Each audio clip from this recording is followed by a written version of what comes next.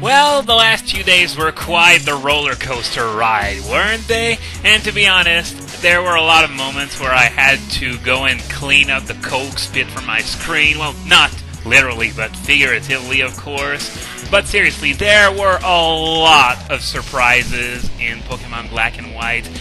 So this is basically my own review of what we've learned in these last few days, and you know me, I'm not one for straight up reviews, there always has to be a gimmick. So today I present to you the top 12 spit take moments from Pokemon Black and White.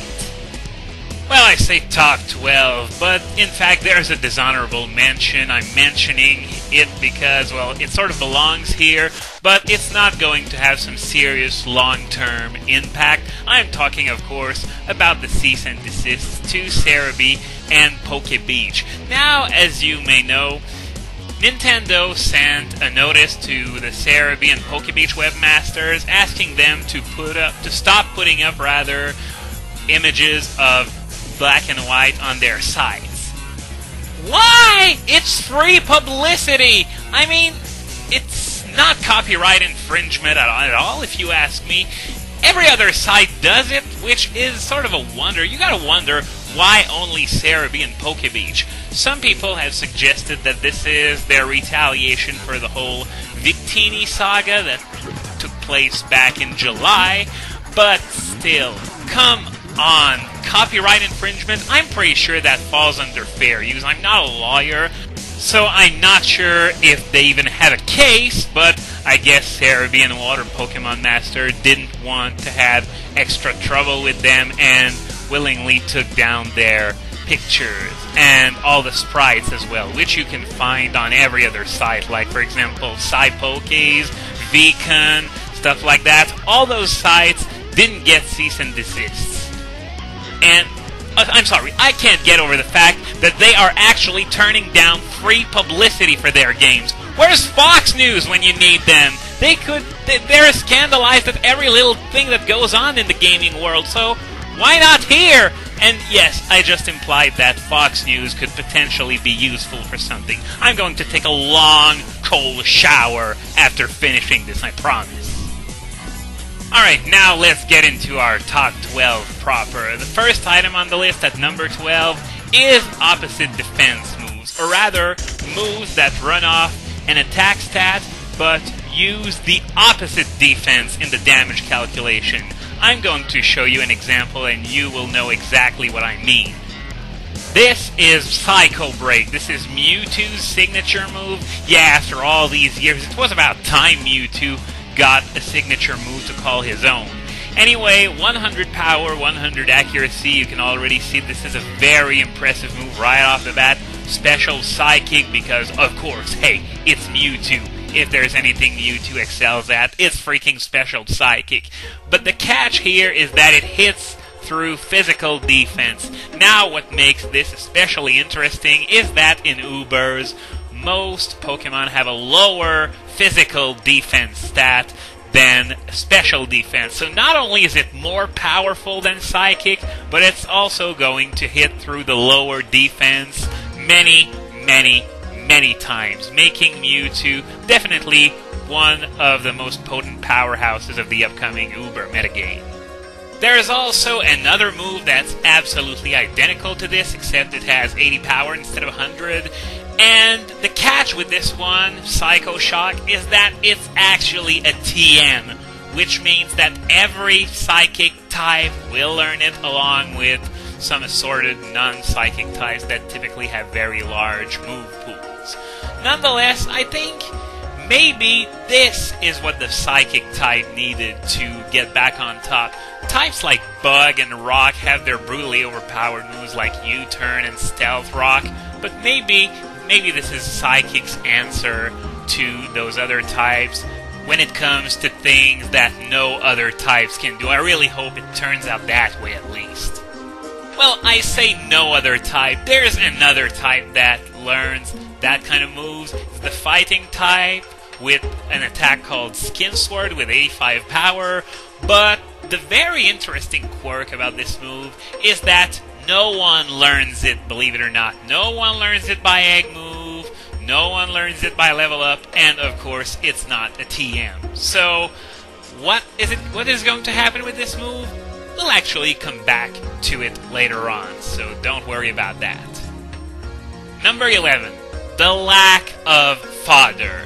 This was a process that began in Generation 4 when, if, if you noted back then, even discarding the, the new evolutions to old Pokemon for a minute, you could notice that there were very, very few really weak Pokemon. There were like the likes of Pachirisu, Wormadam, Mothim, Cherium, stuff like that. But here, it's even better! The only one that I would call absolute and complete trash is Miruhogu. Yeah, because it doesn't really have very good abilities, unlike its predecessor, Bibarel. But still, even the likes of Kokoromori and Bazurao are salvaged by excellent abilities.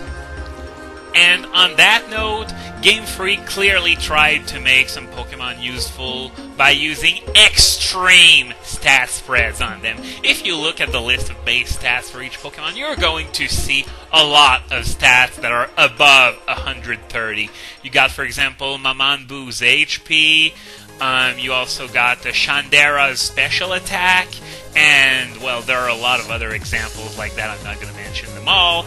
But it really seems like Game Freak was out to make every Pokemon as good as humanly possible. Except for Miruhogu, of course. That thing just sucks. Number 10. Odd looking Pokemon. Every generation has got them.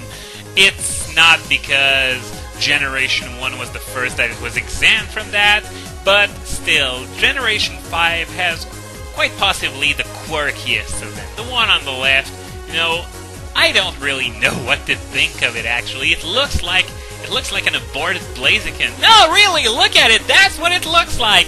Please kill me. And then you got an ice cream cone. Really? and of course, everyone's favorite, not really, the garbage bag that evolves into uh, well, a torn garbage bag with garbage pouring out of every orifice.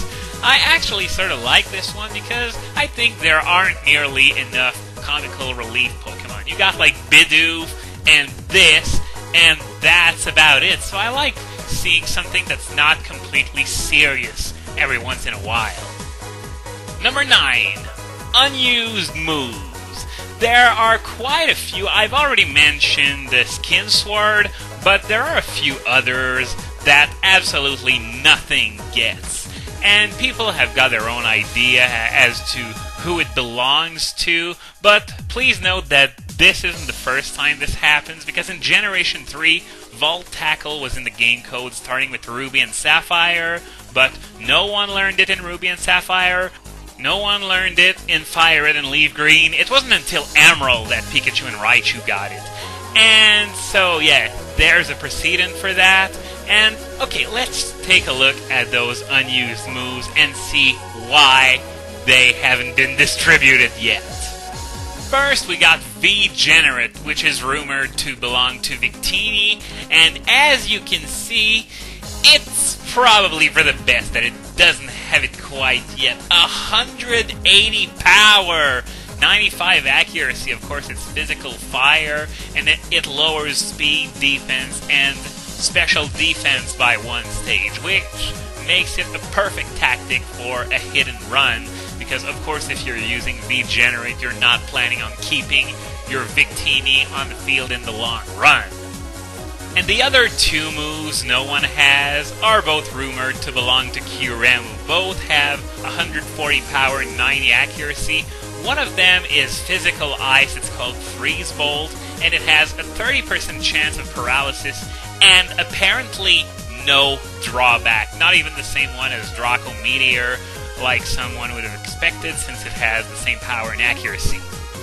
And the other one is called Cold Flare. Same power, same accuracy, except this one is special and has a 30% chance of burn. Yeah, an ice move that burns. Well, we already got a water move that burns with boiling water, so why not this? And you know what? Maybe those two superpowered moves are the explanation why Kyuremu doesn't have the same stat total as every other version mascot out there. Because everything other than Kyuremu from Mewtwo all the way to Reshiram and Zekrom have 680, but Kyuremu has only 660. Maybe because they decided to give it super powered moves of Doom instead. Number 8 Extreme Evolution Levels. Prior to this generation, the only Pokemon that evolved past level 45 were pseudo legendaries. Well, they decided to mix things up a little because prior to this generation, the highest evolution level belonged to Vibrava into Flygon at level 45. But here, tons of Pokemon are way past 45 when they finally evolve. Let's take a look at them. First, we got Gigear into Gigagear at level 49, Onondo into Ononokusu at level 48, Kojofu into Kojondo at level 50, Komatana into Kirikizan at level 52, Washiban into Wargle at level 54, Baruchai into Barugina at level 54 as well, and Meraruba into Urugamosu at level 59. Now, what's really weird about that last one is that you get both a Meraruba egg in the game, as well as a level 75 Urugamosu that you can catch like any other legendary, despite the fact that it's not actually a legendary. So this is a rather weird one.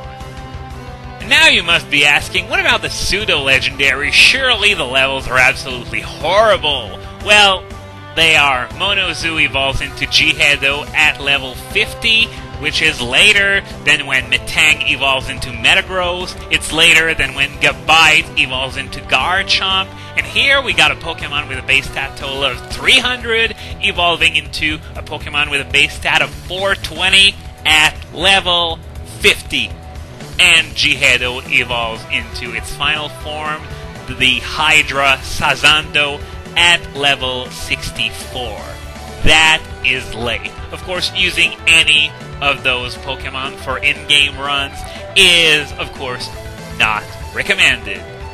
Unless, of course, you want to take on the Elite Four with an unevolved Washiban. Well, then that is your own choice.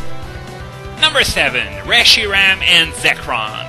Of course, high hopes were put upon them through their abilities Turbo Blaze and Terra Voltage, but unfortunately, those abilities ended up being fairly underwhelming. They're basically Mold Breaker clones. Not that Mold Breaker is such a bad ability, but if you're going to give it a clone of an ability that already exists, don't make such a big deal about it, or better yet, just give them Mold Breaker. It's not like every legendary that gets pressure gets pressure under a different name. God knows there are a lot of these. Even Kyuremu wasn't exempt from this. But that doesn't mean the entrance of Reshiram and Zekrom was a boring one. Nope, we got a few surprises in the form of their signature moves. Each one has two of them. We already knew about Cross Flame and Cross Thunder, but it's the other ones that really caught everyone's attention. Reshiram's move is called Blue Fire, 130 power, 85 accuracy, special fire, and 20% chance of a burn. Now, I know what you're thinking. Doesn't it look as just as cheap as Sacred Fire or Sea Flare? Yes. Yes, it is. But I guess that was the entire point. And as for Zekrom's move, it's nearly identical except it's physical, electric, it has a chance of paralysis, and it's called Lightning. Yeah, I know you're wondering why a move called Lightning is physical. Well, my theory is that it's simply because Zekrom's highest attacking stat is physical, and they wanted Zekrom's special moves to actually match those attacking stats.